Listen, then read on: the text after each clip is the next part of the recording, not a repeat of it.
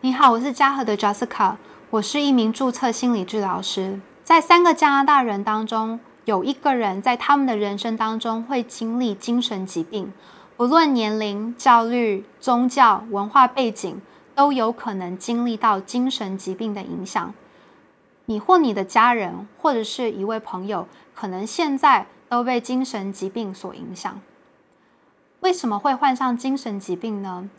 其实原因有很多，也很复杂。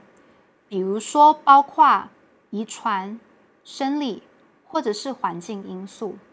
有一个理论在研究当中常常被提到，叫做 stress vulnerability，可以帮助我们了解为什么有些人会患有精神疾病，而有些人不会。这个理论有两个因素，第一个是 vulnerability，是指一个人比较容易患有精神疾病。有可能是因为基因的构成，也有可能是因为年幼时期的生活跟经历创伤带来的影响。另外一个因素是 stress，压力是指一个人在生活当中所面临的挑战。一个人因着他的家庭精神疾病的历史，或者是童年经历的创伤，而让他们可能比较容易经受精神疾病的影响。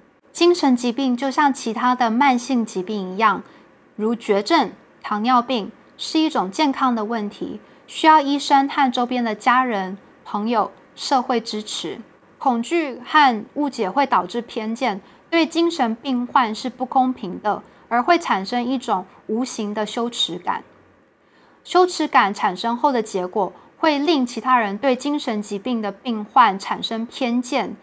也有对患有精神疾病的人感到羞耻和绝望，会阻拦他们得到他们需要的帮助，而延迟寻求专业帮助，有可能会增加精神疾病的影响，会带来更高的风险以及医疗费用。我们要如何减少对精神疾病所带来的羞耻感呢？第一，我们要自己了解精神疾病，教育家人和朋友。正确来看待精神疾病，我们也要注意我们的成长环境、社会文化和价值观有没有影响我们对精神疾病的看法。在讨论精神健康问题的时候，我们需要小心选择我们的用词，比如说使用懒惰、吃线这样的词汇是不尊重的态度，也会让羞耻感更加增加。我们需要看正面的。我们需要用积极的态度来看精神病，因为有很多精神病患对社会做出很大的贡献。比如说，Johnny Cash，他是患有精神分裂症的美国数学家，他有获得诺贝尔奖。